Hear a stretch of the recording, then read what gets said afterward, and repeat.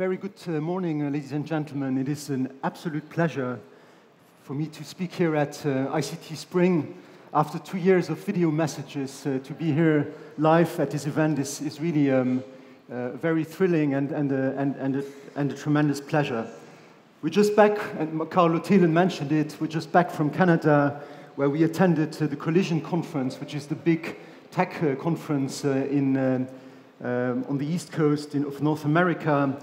Uh, very exciting, 35,000 participants, a little bit bigger than ICT Spring, uh, but uh, it's pretty much the same vibe when I go through the hall. It's, uh, and seeing some of the same people that uh, were, went along with us uh, to Canada. So it's, a, it's really a pleasure um, to be here, very excited. Um, as you know, digitalization, tech is also a big priority of the Ministry of Economy, as it is for the entire government. Um, and uh, ICT Spring is very uh, important, instrumental in uh, forwarding, in, in developing the agenda of a, a digital economy.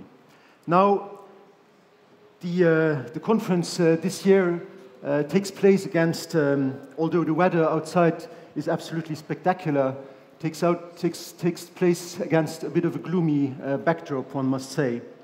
We are um, confronted with um, a context where we are just coming out of a pandemic, uh, COVID 19, um, which is not yet completely over. Uh, we are also seeing a terrible situation with this um, senseless, terrible war in Ukraine, which started on 25th, 24th of February um, this year, which leaves us all in a very different world, which leaves us in, in a different geopolitical uh, context um, that is um, I think also prompting us to reinvent uh, globalization. We also, of course, have a climate crisis and a biodiversity crisis that is getting ever more urgent. And uh, of course, in all this, we see now very high inflation. We have high energy prices, uh, which were high already during uh, COVID 19, but which have been driven up further, of course, because of the, of the war uh, in, in, Ukraine. All this, of course, also provoking uh, some social unrest. Um, people are losing purchasing power.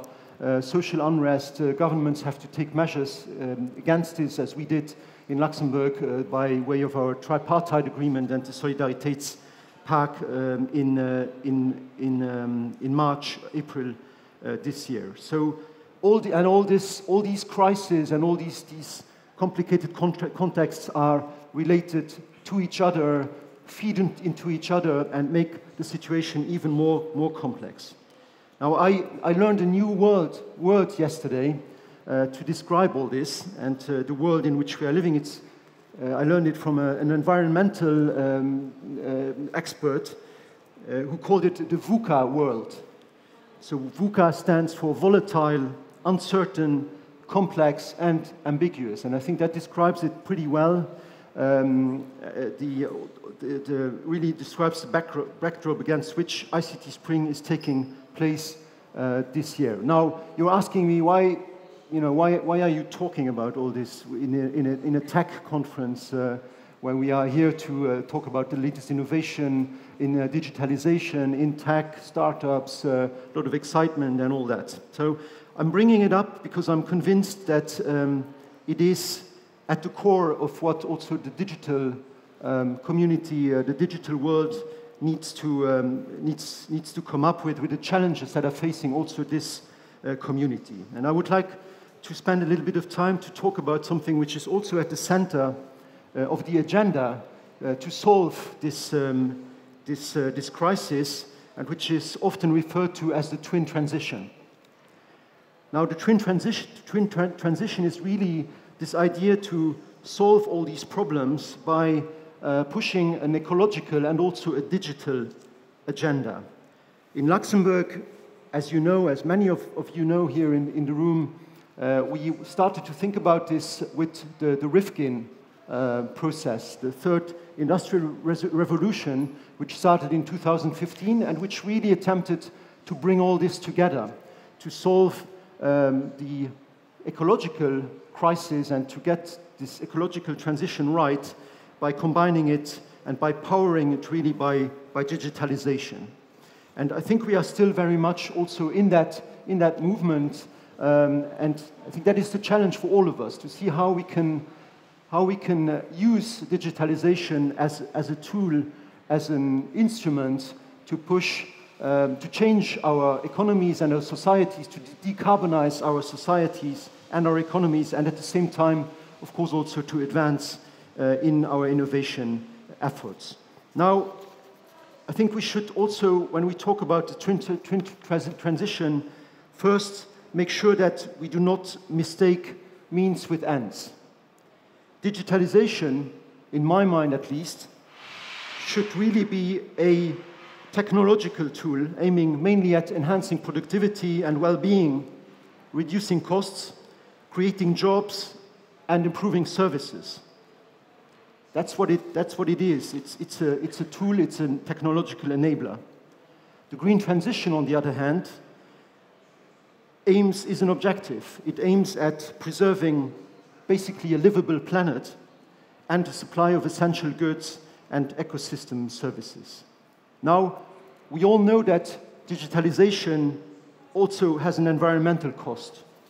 About 10% of Europe's energy consum consumption and 4% of its greenhouse gas emissions are dedicated to the digital environment.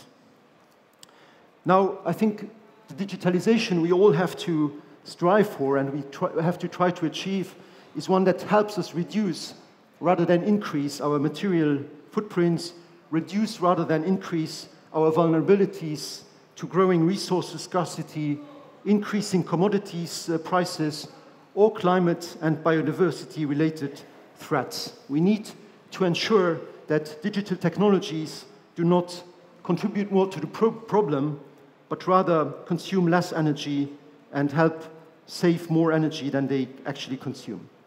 Now, there are several ways of, of going about this and achieving this. I'll give you a few examples.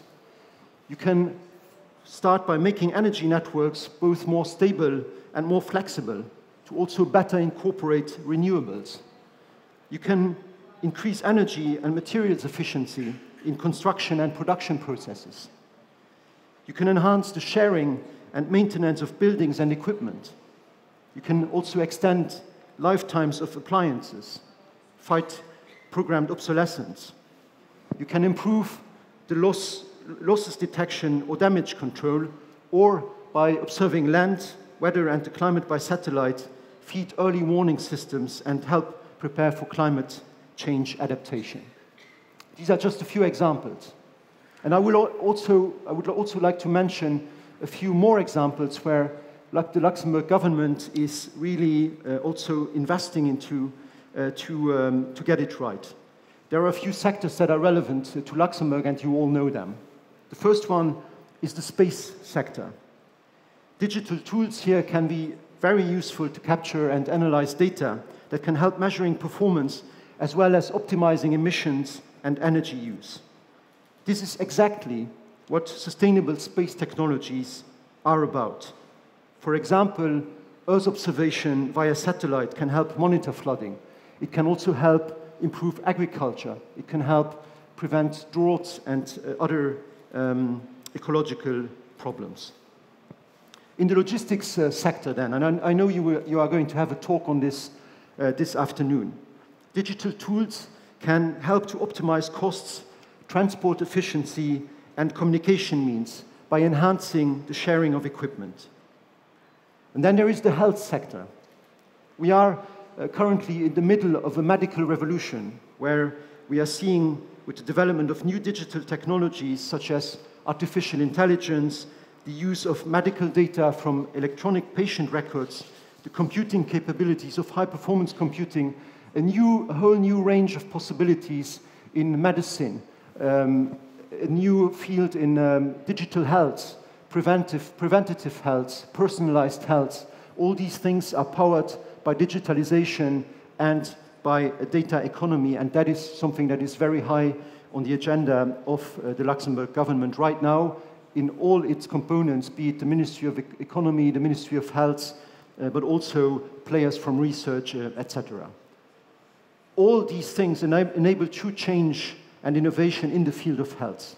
And we saw that during the pandemic, thanks to the precise monitoring of the data, such as number of infections, incidence rate, monitoring wastewater, we could remove the sanitary measures and reopen the borders much faster, much more efficiently than many other countries around the world.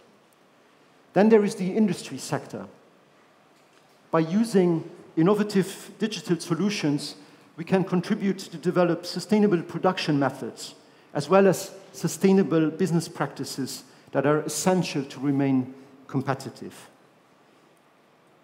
It is a field also where we have already examples in Luxembourg.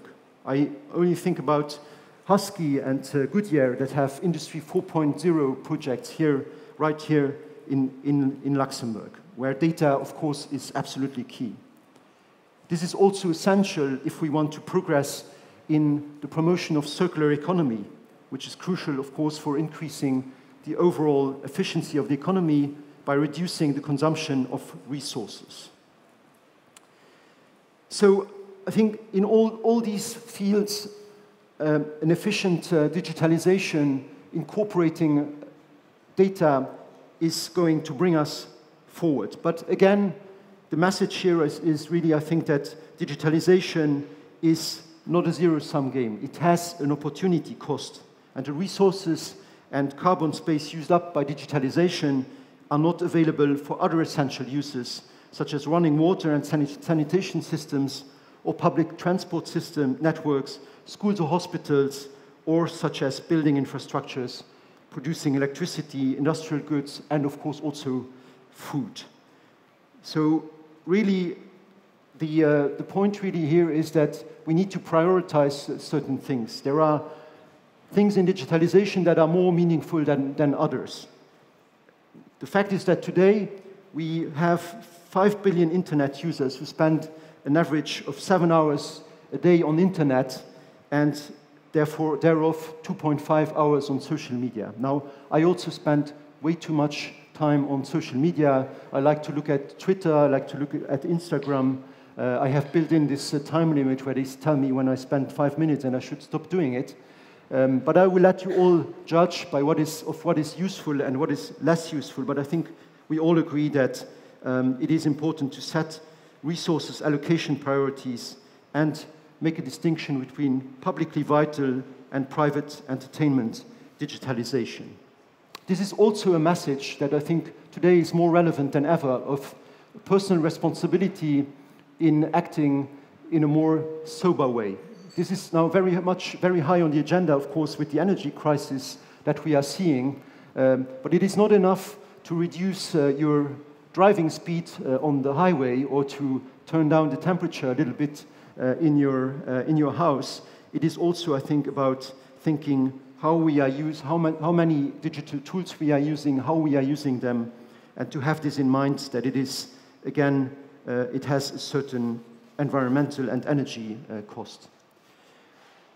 Now, really the question is also, what can governments do to set the right framework to promote the right type of digitalization?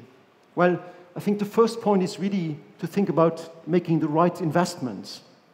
Government investments should primarily focus on vital infrastructures and research and innovation programs. In Luxembourg, of course, we are there in a European context. We have, first of all, to reinforce the European single market absolutely crucial for a small open economy such as Luxembourg, but we also have to um, take on board the EU's strategic open autonomy, in particular for energy, but also critical resources of water, food, drugs, or microchips, all on the agenda of Europe, should also be on our agenda. That also, again, of course, connects with investment in ways of securing protection against cyber attacks and natural disasters, of preventing shortages of strategic resources, and of generating low carbon energy. Finally, another point that we need to consider in getting this transition right that it is critical to enable a majority of people to take on new economic opportunities, to change jobs and to develop their potential, be it in high tech or also in low tech. In uh, Montreal, I was caught for 45 minutes in an elevator with uh, 12 other people. We were, ver- we were very happy, happy to get rescued by firemen who opened uh, the elevator in a very manual and very low tech uh, way. So let's not forget about low tech jobs, about crafts. These are also very important. If we have a high performance computer, we should remember that it also needs electricians to keep them cool and ventilated. This is really the twin transition that we are aiming to bring about, one that sees greater reduction in negative environmental effects and lower resources use and pollutants release with digitalization rather than without digitalization. I think in doing that, the opportunities, the economic and also the societal, societal uh, opportunities are enormous. We are doing that through uh, government strategies with all our partners, be it Chambre de Commerce, be it all the, the many other partners in, in business through public-private partnerships, with research, with strategies such as Ons Wirtschaft More, which combines this um, digital, digital and uh, ecological agenda but also uh, through foresight. Rifkin was the first attempt and the first, um, the starting point really of this foresight exercise where we try to imagine the uh, Luxembourg economy of tomorrow and the day after tomorrow. And this is uh, something that we, are, we have made, um, I really could, I think, the conclusion of uh, Rifkin, but we are bringing it into the, these lessons that we learned through Rifkin bringing them into Luxembourg strategy, which is a foresight exercise where we are trying to learn from the megatrends that we are seeing today and try to understand and draw conclusions from what these uh, things mean for Luxembourg and uh, for positioning uh, Luxembourg in the world of um, uh, tomorrow. So that is really what we are doing, and we are really also counting on everyone in this room uh, to contribute uh, to, that, um, to that effort. Ladies and gentlemen, I, see, I will see, say a few final words about startups because I know there are a lot of startups here in the room. I saw some of them by, when crossing the hall and really also looking very much forward to visiting uh, the stands after uh, this little speech. Um, startups, of course, are very key in, um, in bringing about this um, innovation agenda that I, that I have just uh, described. We have a startup ecosystem that has very strongly developed in the last uh, decade, which today has more than 500 companies bringing innovative digital and data-driven solutions in key sectors of economic diversification, such as fintech, clean tech, uh, space, um, health tech, of course, Industry 4.0, and cybersecurity. And uh, as you all know, there are going to be a lot of exciting uh, events uh, around startups uh, in the context of ICT Spring, such as the 12th edition of Fit for Start, where we, where we will have the graduation ceremony, um, which will take place um, tomorrow. Very exciting. Also, Catapult, Catapult's Kickstarter, uh, which is organized in partnership with the Loft, also going to be, uh, which will take place uh, tomorrow, and I'm sure that there will be once again uh, many exciting um, new um, companies, new startups, which will be um, be um, receive prizes or, or, be, be launched in the context of these um, of all these different um, events. I would also like to tell you that uh, or bring your attention once again, to the fact that the national startup uh, ecosystem will have its own directory thanks to Luxinnovation, uh, which is uh, being put online on www.startupluxembourg.com. Uh, this directory will gather key information about each startup, such as its field of uh, activity, target markets, and contact details, therefore also, thereby also creating really an, an, entry gate and a point of contact for our startup um, community. This is really a directory that will complete the mapping carried out by Lux, Luxinnovation. So once again, also I invite you all to attend the graduation ceremony that will take place here, um, right here tomorrow. So to conclude, um, I would like first to thank you for listening to me and by saying that despite, despite maybe the little bit gloomy start to my speech, I think that this time is also full of opportunities and uh, full, of, um, full of challenges, obviously, but also full of opportunities.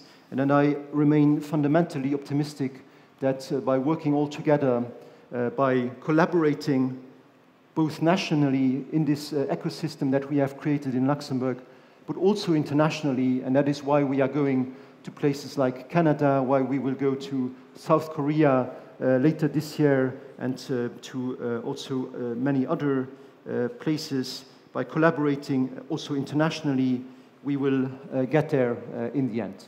Thank you very much for listening.